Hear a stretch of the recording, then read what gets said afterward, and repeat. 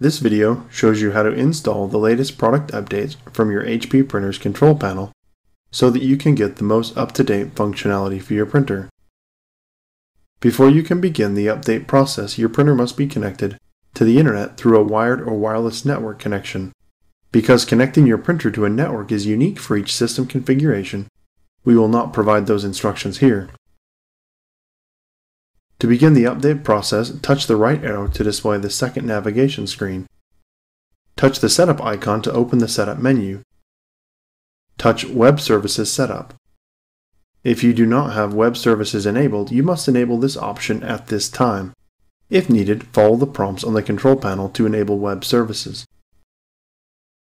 Touch Product Updates. Touch Check for Product Updates to manually update the printer Touch Yes to apply the update if one is available.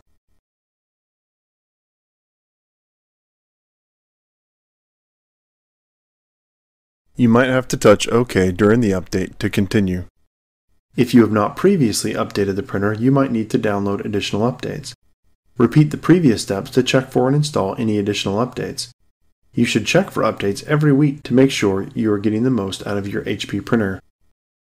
When the message No product update is available for this printer is displayed on the control panel, touch OK. Your printer is now up to date.